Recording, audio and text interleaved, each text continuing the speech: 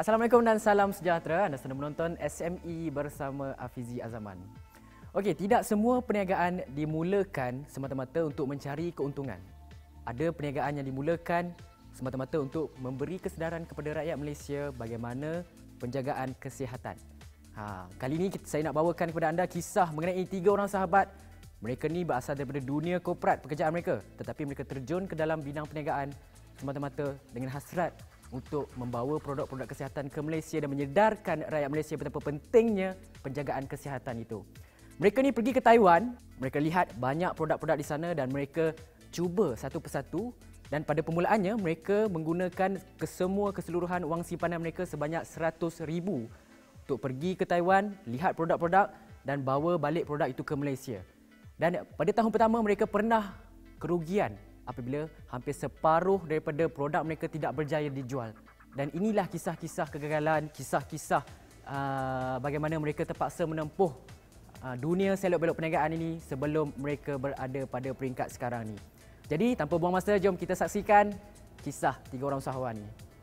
Generally, I start this whole business is because I found that there are a lot of fixed items in the market, low quality, in in order that low cost, but they are very bad in quality.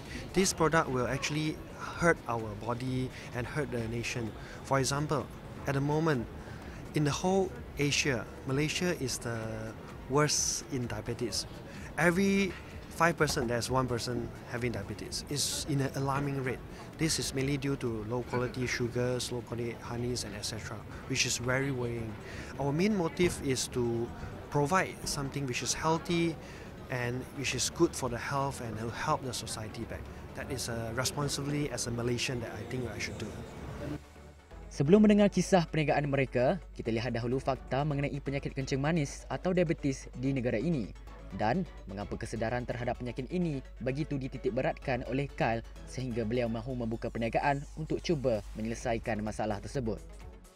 Tiada pengalaman dalam bidang perniagaan tidak mematahkan semangat mereka bertiga tetapi inisiatif untuk belajar selok belok perniagaan menjadi kekuatan. Daripada dunia korporat, terjun dalam industri ini sudah tentu beri kejutan dalam menempuh dugaan sebagai usahawan. Uh, to be very honest, lah, initially we start very small. Lah. We work in a multinational company, then we want to start to help people. So among there, a group of three of us, we started this and we pour out all of our savings to invest in this business. So it's a very challenging and tough time that we have. You're starting uh, model? Okay, uh, our model we pour in all of uh, our investment, probably about uh, 100k around there to start everything. Invest in the stocks and invest in our peripherals and assets and everything. Uh, we are practically very zero in this business world actually. Because we are in a management team inside a, a MNC so during this uh, we have no ideas of what is business how is marketing and everything. This is a very shocking place for us. So we venture it. Uh, where do you learn all the business? Well uh, we, are, we read a lot and we also try to have conversations and going for courses, know a lot of friends. A lot of people help us out during this duration. Initially, it is a very tough time at the face. We have practically uh, no idea what to expect. So slowly, slowly, we try to set our targets. Uh, in very, very beginning, actually, the main jabaran is for our product. We are selling this brown sugar ginger tea and brown sugar various product. Our main Jabra main challenges will be there are so many brands inside in Malaysia. I think in Taiwan there are over 50 brands. In Malaysia probably 30, 40. Korea, Singapore, etc., etc. There are so many brands. What can our brand be into people's heart? So we practically have uh, no idea, and we need to find a way. So one thing that we want to show is our quality. Our quality of the products make us that we set our target in healthcare line. So we go through in healthcare pharmacies, hospitals, and etc. to promote our products. Our products are checked by dietitians, doctors. All of them have a thorough check to in order to make sure that it is good and safe to be used inside hospital. So from there we start to set our our role in this market and from there we start and conquer over the challenges. So that is the initial. Follow up, there are a lot more different different challenges. Okay, for example, um, uh, we, we, we try to uh, expand our business. So from there, we start with uh, practically nothing. We don't even have a, a place to put our products and everything. But today we started up, set up, we have a store in Penang.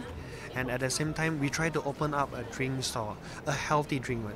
There are a lot of drink store in Malaysia, but as a healthy drink, a one that promote healthcare, this is the first. So we want to be the first to challenge and to help the society. Next, throughout this uh, event, I actually wanted to export our products to Southeast Asia. Currently, we are only in Malaysia and Singapore, but we are very ambitious. We want to push this good thing to Southeast Asia. So we discussed with Taiwan side. We try to buy over this, uh, the copyrights and the authorizations. So this is our challenge for this year.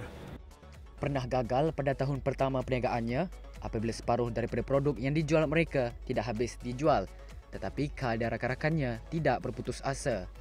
Kerugian yang dialami menjadi kekuatan dan mereka bingkas bangun mencari formula seterusnya untuk pasarkan produk mereka.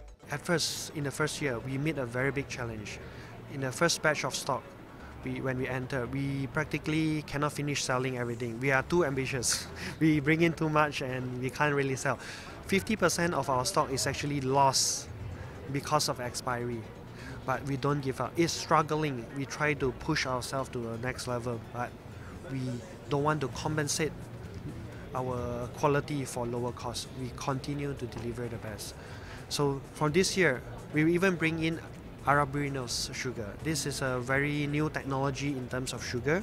This Arabinose is a next generation technology for diabetics it helps to uh, when when you take the arabinose in one and two hours time any sucrose based sugar that you take will not be absorbed by your body which is suitable for diabetes and also prevent diabetes Era Malaysia baru, dan rakan-rakannya berharap agar kerajaan memperbanyakkan usaha membantu usahawan kecil dan sederhana di negara ini untuk mengembangkan lagi perniagaan mereka.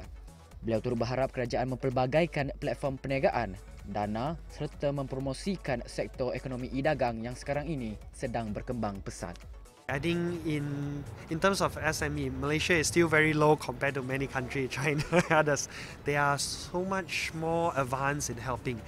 They provide them office and to provide them funds in order to build the SME. I hope that if Malaysia can help that to us as well, so that when beginning we when we don't have even a roof to start our business, they can provide some cheap price uh, office that is presentable, and they also can provide us some fund in order to help us for uh, the buying stocks and etc. And most important, I hope that they can provide us an opportunity to push our products out of to Mal- outside Malaysia. Okey, ini merupakan salah satu cabang keusahawanan sosial di mana usahawan-usahawan ini melihat sesuatu masalah di negara ini dan mereka cuba menyelesaikan satu masalah itu melalui perniagaan dan mereka tidak mementingkan keuntungan semata-mata tetapi melihat bagaimana mereka dapat menyelesaikan sesuatu masalah itu. Dan inilah kisah-kisah inspirasi yang harus kita contohi. Harus rakyat Malaysia nilaikan apakah sekurang-kurangnya sumbangan yang mampu kita berikan kepada negara ini. Dan saya kira setakat itu saja eh, pada episod kali ini sehingga kita bertemu lagi pada episod seterusnya SME bersama Afizah Zaman. Assalamualaikum dan salam sejahtera.